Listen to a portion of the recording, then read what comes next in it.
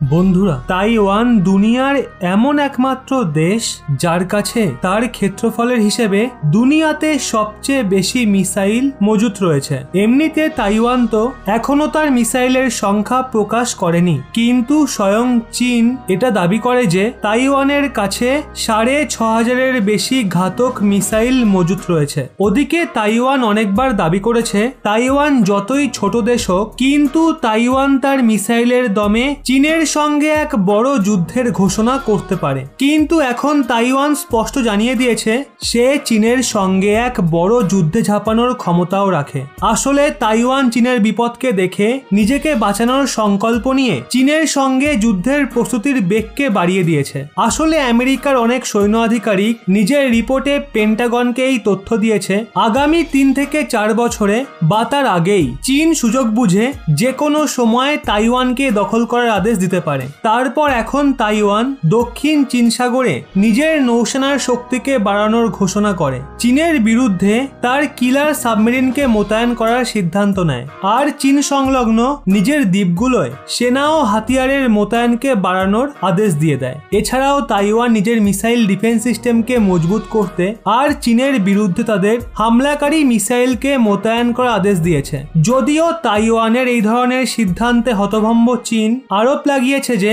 Taiwan Bharat ও আমেরিকার ইশারায় দক্ষিণ চীন সাগরে যুদ্ধকালীন পরিস্থিতিকে বাড়ানোর প্রয়াস করছে। চীনা মিডিয়া সিংহুয়া লিখেছে, ভারত আর আমেরিকা অনবরত দক্ষিণ চীন সাগরকে যুদ্ধে ব্যবহার করতে চায়। আর ভারত ও আমেরিকার সঙ্গে মিলে তাইওয়ানকে যুদ্ধের জন্য উস্কাচ্ছে। যদিও চীনের অনেক বিশেষজ্ঞরা এটা মনে করছেন, এখন তাইওয়ান ক্ষেত্রফলের হিসাবে একটা ছোট দেশ হওয়া সত্ত্বেও নিজের ক্ষমতার থেকে বেশি হাতিয়ারের ভান্ডারকে বাড়াচ্ছে।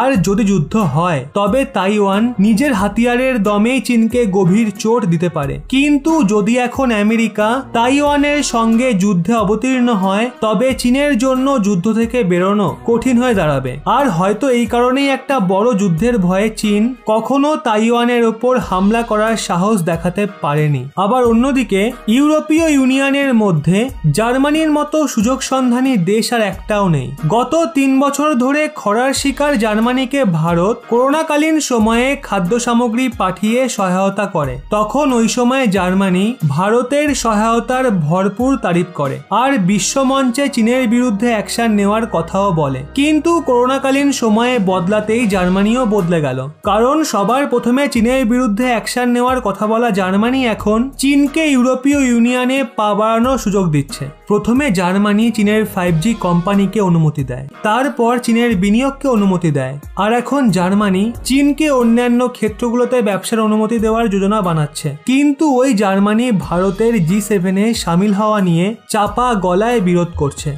যেমন ডোনাল্ড ট্রাম্প ভারতকে জি সেভেনের অংশ করার বিষয়টায় হাওয়া দিয়েছিল। আমেরিকা চায় যে ভারত জি সেভেনের অংশ হোক। যেই কারণে আমেরিকা দু হাজার কুড়ির জি সেভেন সম্মেলনে ভারতকে আমন্ত্রণও পাঠিয়েছিল কিন্তু করোনা মহামারীর কারণে দু হাজার কুড়ির জি সেভেন সম্মেলনই হয়নি। কিন্তু জার্মানি লাভ লোকসানের সুযোগ দেখে কখনো ভারতের জি সেভেনে সামিল হওয়ার সমর্থন করে, তো কখনো আবার ভারতের জি সেভেনে সামিল হওয়া নিয়ে বিরোধ করে। আর একবার পুনরায় জার্মানি ভারতের জি সেভেনের রাস্তায় আসায় বাধা প্রদান করেছে।